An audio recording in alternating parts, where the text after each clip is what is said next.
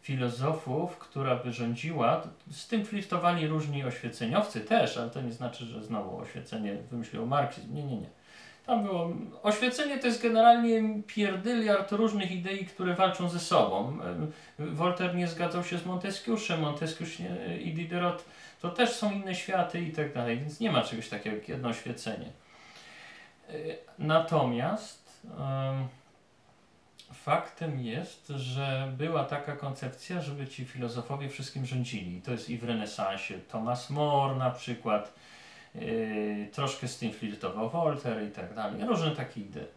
No i później byli coś socjaliści utopijni, to oni tam no i tak dalej. To Marx ich nazwał utopijnymi, bo uznał, że oni się nienaukowo zabrali do sprawy. Naukowa to jest ta jego wielka, ogromna rewolucja. Oczywiście to jest naukowa mimo że to oni byli praktyczni, bo robili kurde tą fabrykę i kurde ci robotnicy tam byli współwłaścicielami, czy tam coś, czy tam coś i to był konkret, więc to nie była utopia, nie?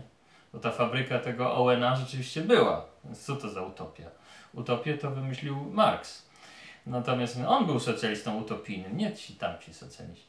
Natomiast, e, więc tak, on wymyśla klasę takich zarządców filozofów, to jeszcze wzmocnia Lenin później, że właśnie elita jest wszystkim przewodnią siłą i tak dalej, bo już nawet tam PAL 6 to całe uświadamianie roboli, nie?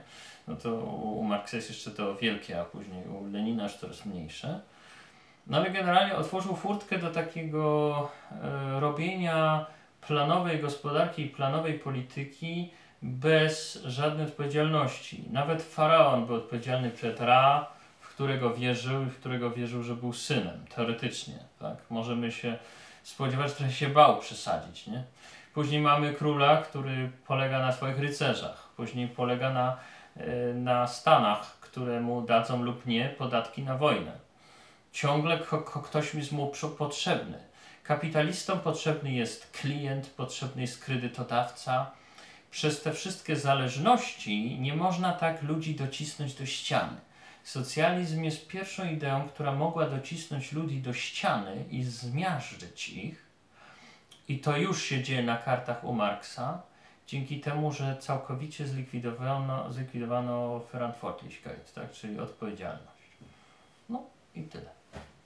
Nie ma odpowiedzialności. Przed kim jest odpowiedzialny planer socjalistyczny? Przed nikim. Przed nikim. Prawda? Chyba, ja nie mówię o socjaldemokracji, która uważa, że ludzie z natury zagłosują za socjalizmem. Nie, nie, nie, nie. Ja mówię o socjalistach rewolucyjnych typu Marksa. Prawda? No. Taki jest problem z marksizmem. Nie tylko fałszuje pojęcia, nie tylko e, robi fałszywe alternatywy, ale jeszcze w dodatku dociska człowieka do ściany już na kartach swoich książek, dlatego że pokazuje, że no, właściwie rządzący może zrobić z nami wszystko i jeszcze się mamy z tego cieszyć, nie? Coś w tym stylu. No to tyle.